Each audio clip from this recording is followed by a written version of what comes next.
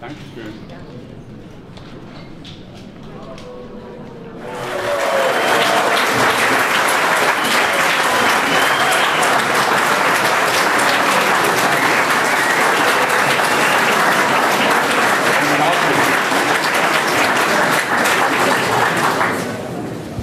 Liebe Freunde,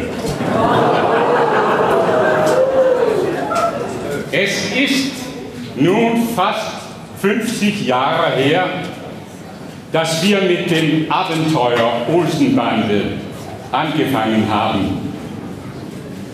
Damals hätte sich keiner träumen lassen, dass unsere Arbeit eines Tages in einem Museum landen würde. Das ist eine große Ehre. Aber es stimmt auch etwas wehmütig.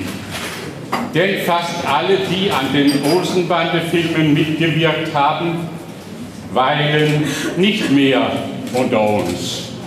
Von der Bande selbst einschließlich Nachkommen sind nur Börge und Genny hier. Ich danke der Kunsthalle Rostock für ihren Einsatz, die Olsenbande so liebevoll wieder auferstehen zu lassen.